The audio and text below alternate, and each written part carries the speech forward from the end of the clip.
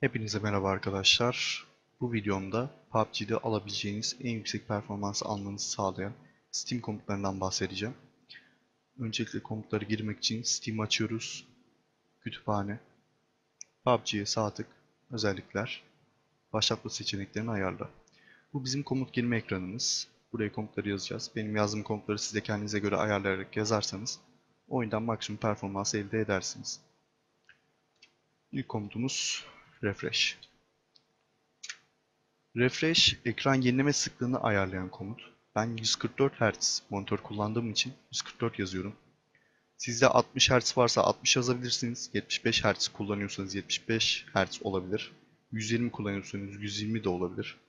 240 kullanıyorsanız 240 da olur. Yani o sizin ekranınıza göre değişen bir değer. Sıradaki komut ise max man. Aslında tahmin edebileceğiniz gibi oyundaki maksimum RAM'i ayarlayan bir komut. Yani nasıl bir şey? Atıyorum mesela bende 16 GB var. Ben buraya 13.000 yazarsam oyun en fazla 13 GB kullanır. Ki o kadar kullanmaz zaten. Oyun o kadar kullanmıyor. İşte 13 GB niye yazdım? Kalan 3 GB da Windows için, Steam'in kendisi olsun, Discord olsun, Chrome olsun o tarz uygulamalara ayrılan bir miktar. Yani siz kendiniz ayarlay ayarlayabilirsiniz ama eğer 64 bit işle işletim sistemi kullanıyorsanız 3 GB'dan aşağı inmemeniz gerekiyor. Yani ben önermiyorum. Sıradaki komut ise malloc eşittir system. Bu arada başlarında tire var. Onu söylemedim. Zaten görüyorsunuz. Neyse. Malloc system. Molak diye okunuyor okunması komik diye söylemedim. Gerçi söylemiş oldum da neyse. Şimdi bunu yazıyorsunuz. Bu ne sağlıyor?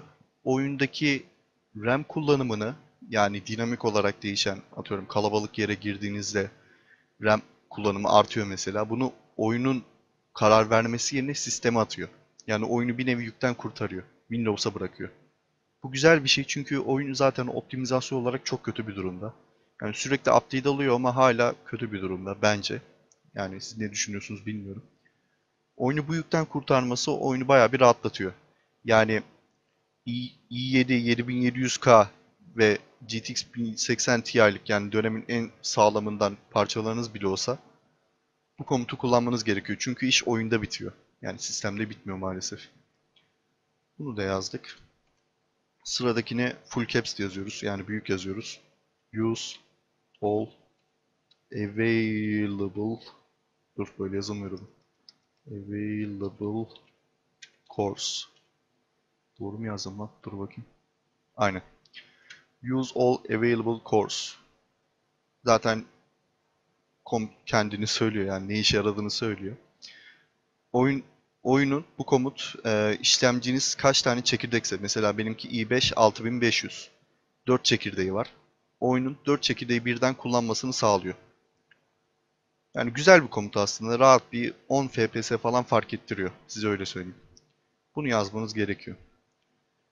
Sıradaki komut ise son komutumuz SM4. Bunu ufak yazıyoruz tabi. SM4. Bu komut ise daha çok düşük sistemi olan arkadaşlar için daha faydalı olabilecek bir komut.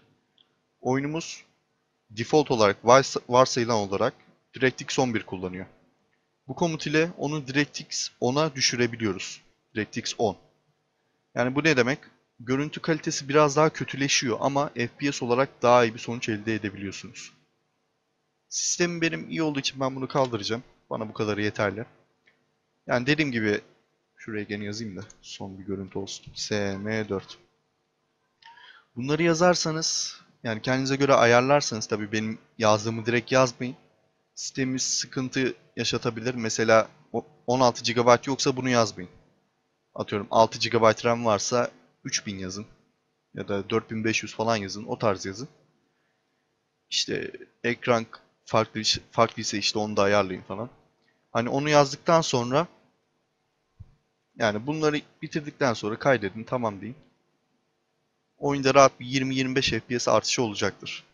Size onu söyleyebilirim. Şimdilik bu kadar. Bir sonraki videomda görüşmek üzere. Hoşçakalın.